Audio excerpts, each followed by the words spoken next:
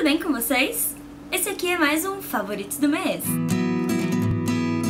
Bem-vindos ao Favoritos de maio de 2015! Vamos começar então pelos livros favoritos que eu li esse mês. Esse mês teve favoritos de livros, yay! Na verdade foi difícil decidir, então eu roubei e coloquei dois livros no favoritos deste mês que foram o Planeta dos Macacos, que tem resenha aqui no canal em vídeo, então vou deixar o link por aqui. E eu realmente gostei muito, muito desse livro. É uma ficção científica maravilhosa e essa edição da Aleph tá muito bonita, então eu muito indico.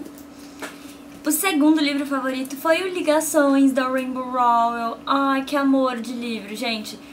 Esse aqui é um livro para explodir a cabeça e fazer você pensar em um monte de coisas e até ficar meio atormentada.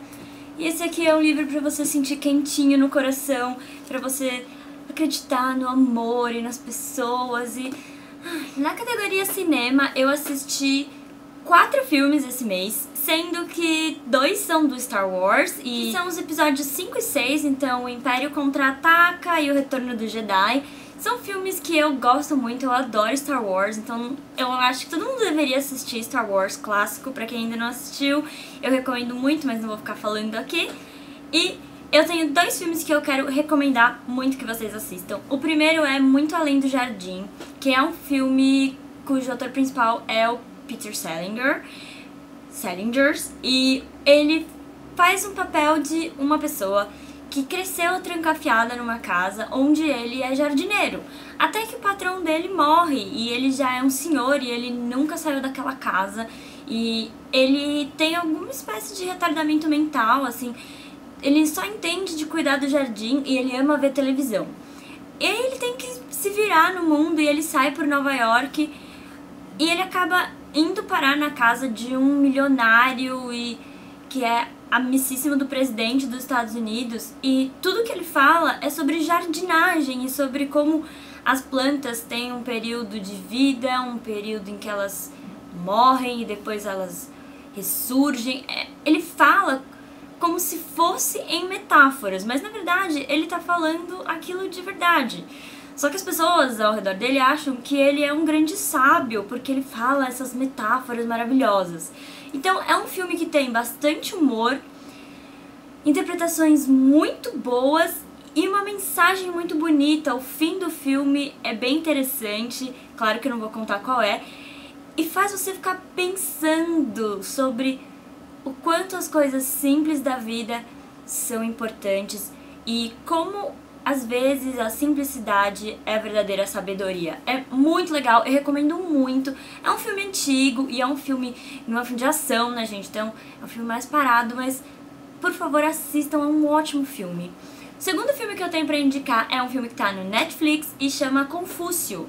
Ele é um filme chinês e conta a vida do Confúcio, e, e é isso, assim, né? Ele vai contar a história do Confúcio desde o momento em que ele já era muito respeitado, ele tinha muitos discípulos no reino de Lu, mas ele acaba mexendo com pessoas muito poderosas e que não gostavam do fato do Confúcio lutar por uma sociedade mais justa e ele tem que ficar então vagando por vários outros reinos da época em que ele vivia na China, que a China era dividida em vários reinos até ele poder voltar para casa, enfim, falecer. E aí mostra a morte do Yang Wei, que era o discípulo mais querido de Confúcio, de como ele ficou triste quando esse discípulo morreu.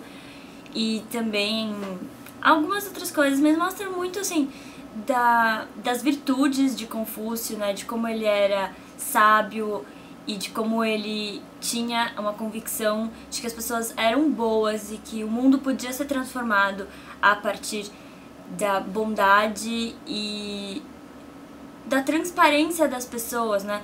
Tanto no governo quanto em casa, das pessoas serem íntegras em todas as coisas que elas fazem e como isso tem um poder transformador.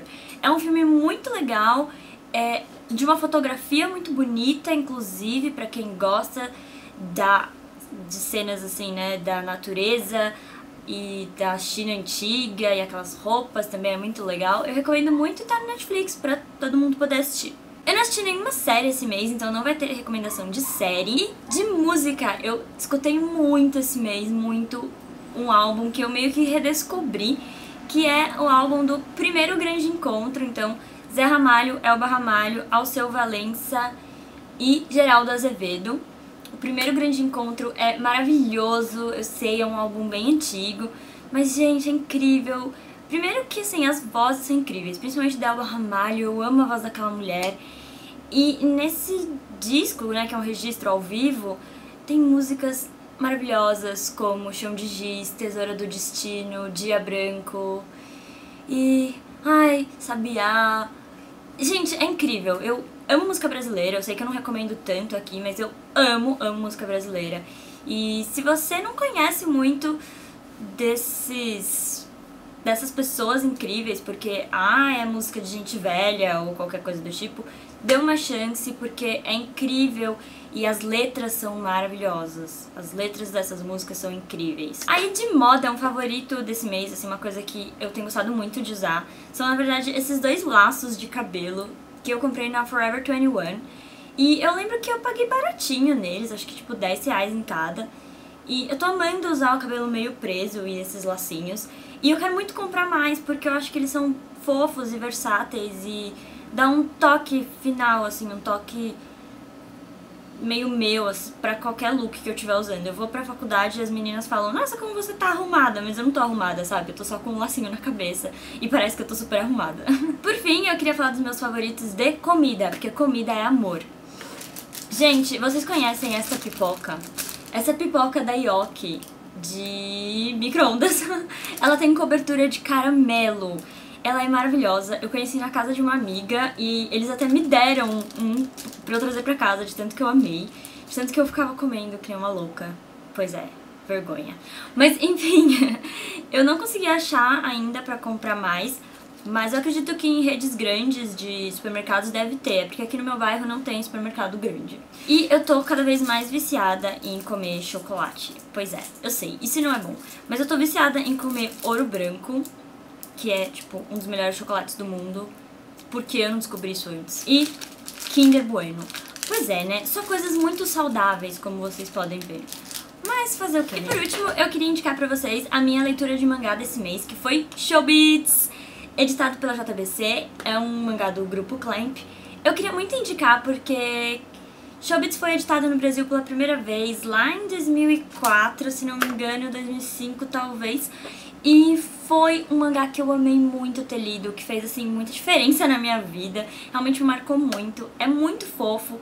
Pode agradar tanto meninos quanto meninas, porque ele tem uma história estilo ficção científica muito legal, mas também tem toda aquela coisa de romance mais voltado para as meninas. Mas o personagem principal é um garoto, então eu acho que agrada assim um público bem amplo. E o traço disso aqui é muito bonito, gente.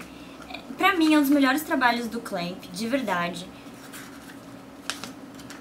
A primeira edição tá linda e vai ser editado em seis volumes desse formato maior. Eu recomendo muitíssimo para quem quer começar a ler mangá também, não sabe meio que por onde começar. Vai pro Showbits que você vai acertar com certeza. Então é isso, gente. Esses foram os favoritos do mês de maio. Eu espero que vocês tenham gostado. Me conta nos comentários quais foram os seus favoritos desse mês. Se você é novo aqui, se inscreve no canal. Não esqueça de deixar o seu like e me seguir nas outras redes sociais. Muitos beijos, até o próximo vídeo. Tchau!